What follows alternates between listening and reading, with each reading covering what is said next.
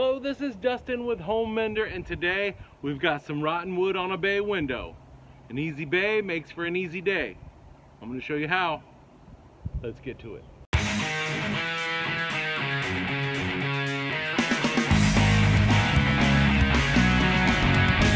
Now you can have the Home Mender in your pocket with the new Home Repair DIY digital guides. Easy just got easier. So first things first, uh, we got this rot here and then this one's been spliced and it's on the front of his house and we're doing the work anyway so we're gonna go ahead and replace these two. Uh, but the way it's built you'd have to take off the, the frieze and the fascia to get to it. So we're gonna nip it off with my trusty multi-tool. Right there at the top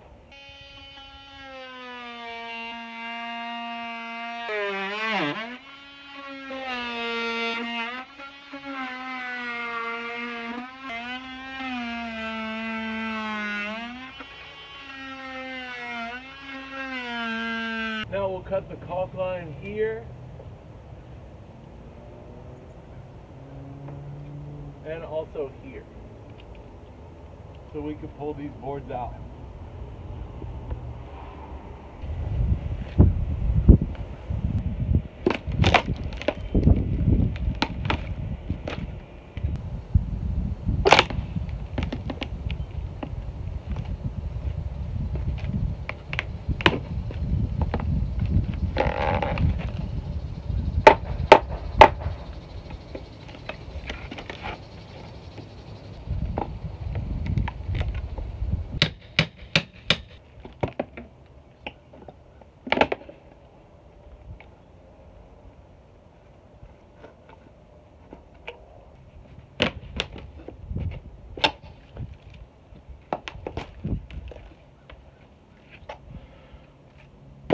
Trusty side cutters to clip the nails.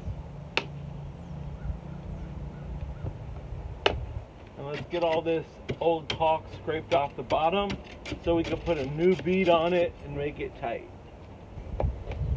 Wow. It's almost up into that brick molding right there.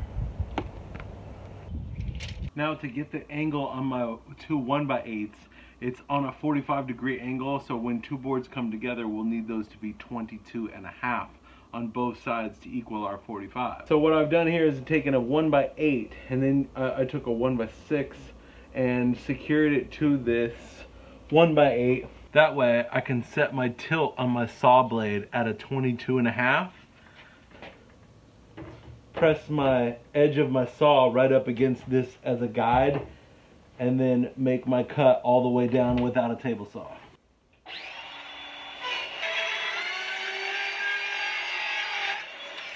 Perfect 22 degree rip all the way down. Now I take my two 22 and a half cuts to form this 45 degree angle.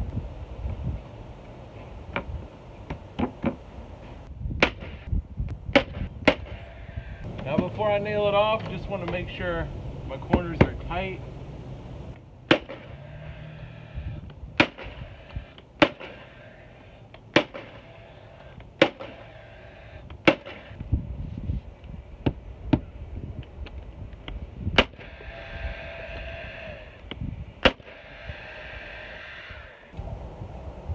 Now we're going to hit it with some painter's caulk. Go ahead and caulk the joints in lay it on nice and heavy. Through the top. Just fill all that in.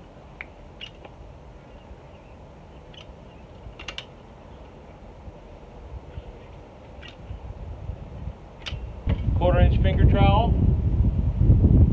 And you can use the excess for the joints in the middle. Don't worry we are gonna wet sponge these so it's all nice and pretty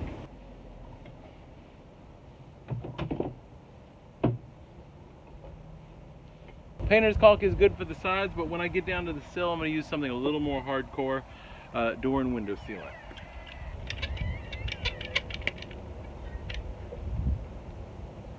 Fill this part in the brick.